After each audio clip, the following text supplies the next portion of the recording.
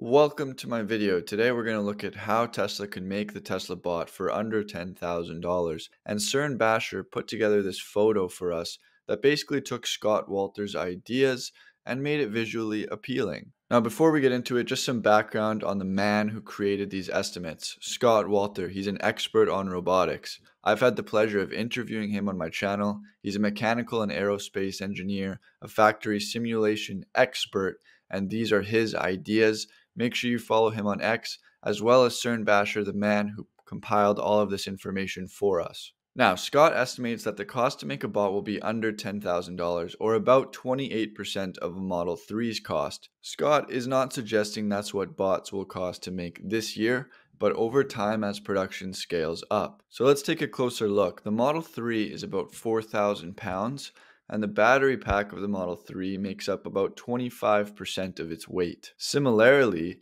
Optimus Bot's battery pack makes up 25% of its weight. I thought that was pretty interesting, but what's more interesting is how much lighter Optimus is going to be than the Model 3. This is a big reason that it's not going to cost nearly as much. Just $480 for the sensors, $500 for the hardware for computer, $600 for the cameras, I tried to find out how many cameras are going to be in Optimus Bot, but that information is not available to us yet. On a Model 3, there are 8 cameras to run FSD, but I don't expect Optimus to actually require as many cameras as a Model 3 does. A human only needs two cameras, and the design of Optimus is inspired by humans, so we'll see if Tesla decides to give Optimus more than two cameras. With that being said, Scott allocating $600 for the cameras in Optimus could be because these are going to be really high quality fisheye style cameras that can see a wide range just like our human eyes can.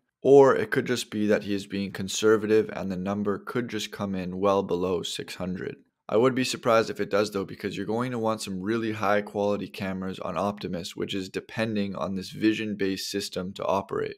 Scott is estimating that the actuators are going to cost $3,600. Of course, the humanoid robot industry is brand new. There is not a bunch of suppliers currently making actuators that Tesla can buy off of the shelf. This means that Tesla has to custom design their actuators, build them in house. Now, Tesla's first generation Optimus bot had 40 custom designed actuators on the body. We haven't been told exactly how many actuators are on the second gen Optimus bot. I know they added an actuator into the neck, but I do not have the specific number. But if we take how many actuators were on the first generation bot 40 and divide it by $3,600, that means it was about $90 per actuator. This is, of course, speculation based on Scott's estimate here, but that is a very impressive number. And we know that Tesla went over thousands of actuator designs trying to find a design for an actuator that fits in multiple different locations in Optimus's body. This is just one of the ways they were able to save cost. And remember, these estimates that Scott is making is predicting how much these things are going to cost once Optimus is fully ramped. This is not about today. Scott is estimating $300 for the castings. Now, this sounds very, very cheap, and we haven't gotten confirmation of this yet, but when the second gen robot came out, Tesla was able to reduce 10 kilograms of weight off of the first generation. And as we took a closer look at the second gen bot, it looked like they had moved from metal to kind of a hard plastic body. So I think Scott here got $300 for castings, assuming that it's going to be much cheaper and simpler to cast this hard plastic body than it would have been for using a metal material. So those are some of my thoughts on Scott's estimates. But now let's move into some of Cern's thoughts on manufacturing limitations. The first is battery production. He writes if production of bots were to ramp up in the near term, then batteries could be a constraint. It's not until 2035 until my illustration has the industry deploying 200 million bots per year. This would soak up 30 billion 2170 batteries, roughly the same as the production of 10 million electric vehicles. By then, I doubt that battery production will be a major issue. Also, since bots will likely be more profitable than selling EVs, batteries would be prioritized for bots. Additionally, since autonomous vehicles will see high utilization, we don't need to make as many vehicles as we do today, potentially freeing up batteries for bots. The second manufacturing limitation Cern goes over is actuators, which I have already talked about. There's not an existing chain of suppliers making actuators, but that doesn't mean that one won't spool up over the next decade to meet the demand. So there's a great business idea for you. Annual production of 250 million bots will need more than 10 billion actuators.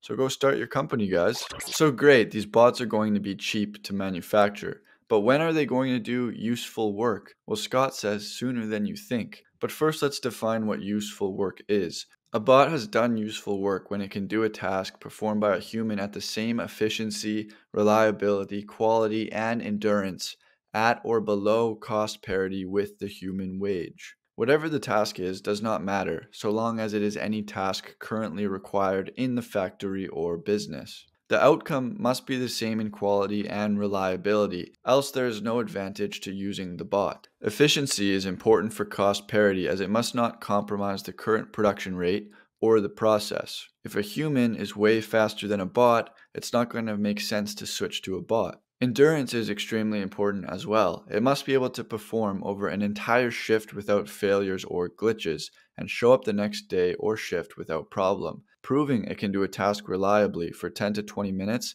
does not cut it. An entire shift is required.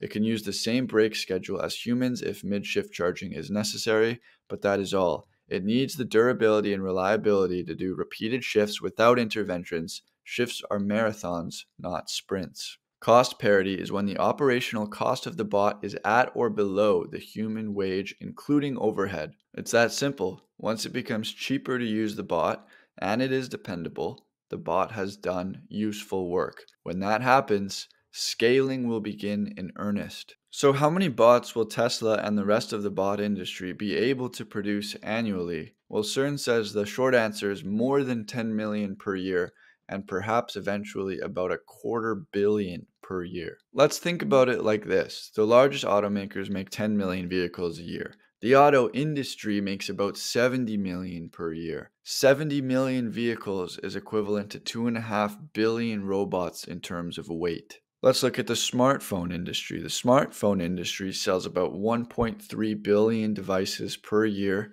and in terms of weight, 1.3 billion smartphones is only about 13 million bots. So it appears that the key issue isn't the weight of the product, but rather the size of the market opportunity. The smartphone makers could make more than 1.3 billion phones per year if the demand was there. With humanoid bots, then, the key to unlock massive demand is the capability of the bot. As a bot becomes more and more capable, it unlocks more and more of the labor market. Also, the bot becomes more valuable and should command a higher price. As the market expands, the bot makers will expand production capacity to meet the demand. So here's a chart that Cernbasher made for us that forecasts some of the coming growth. Of course, these are estimates, so just take them as pure speculation. If we look at 2030, Cern is predicting that 5 million bots have been deployed and that their hourly rate of work is only $12 an hour. He is forecasting that in 2030, bots will already be producing $420 billion in revenue. It's starting to feel like 2030 is right around the corner, but 2030 is still six years away. $420 billion in revenue from humanoid bots is still not out of the question. From there, Cern expects rapid growth, companies stumbling over each other to produce as many humanoid robots as possible, growing to 1.5 billion robots deployed by 2040. By that time, he expects a company to be able to hire a humanoid robot for as little as $3 an hour. One and a half billion bots at $3 an hour, Cern gets $31 trillion in industry revenue. This would make the entire humanoid robot industry worth $567 trillion in 2040. To put this into context, the current market value of global stocks today is only a bit more than 100 trillion and Scott Walter called Cern's predictions conservative and realistic. Let that sink in. For me personally, I'm not going to call these numbers conservative or realistic. $567 trillion market cap in 2040, that's only 16 years from now. And if Tesla even claimed 20% of the humanoid robot market, that means Tesla's valuation would be well over $100 trillion in 2040. But I'm not going to sit here either and tell you that this is impossible. I think what really helps me grasp this chart is if you look at it year by year. Okay, this year, Tesla makes 10 humanoid robots. In 2025, Tesla produces 100 robots. 2026, 10,000. Okay, I can I can believe that. 2027, 100,000. You know, they 10x production. That's 3 years from now. You know what? Yeah, that could happen. 2028, 600,000. I'm believing it all the way down. The area that it starts to get a little bit nutty is once you start to get to the quarter billion per year. Will the battery cell supply be there? Will the bot actually be able to displace human labor, do the really hard jobs like cleaning gutters, getting on ladders, chopping lumber, fishing? I don't know, there's so many examples. But whether you want to call this chart completely outlandish and unfeasible, or whether you're thinking, wow, this is an absolute certainty, you can't deny that the humanoid bot is definitely Tesla's biggest opportunity right now. And no matter how many jobs the humanoid bot is able to displace, if Tesla can make it for under $10,000, this is without a doubt going to be a very profitable endeavor. So if you're new to the channel, subscribe to the channel. And if you're a consistent viewer, you know my voice, you listen to me every day, well, tell me how you really feel about all this in the comments. I like reading what you guys say sometimes. Not all the time, but most of the time. So I'll talk to you tomorrow.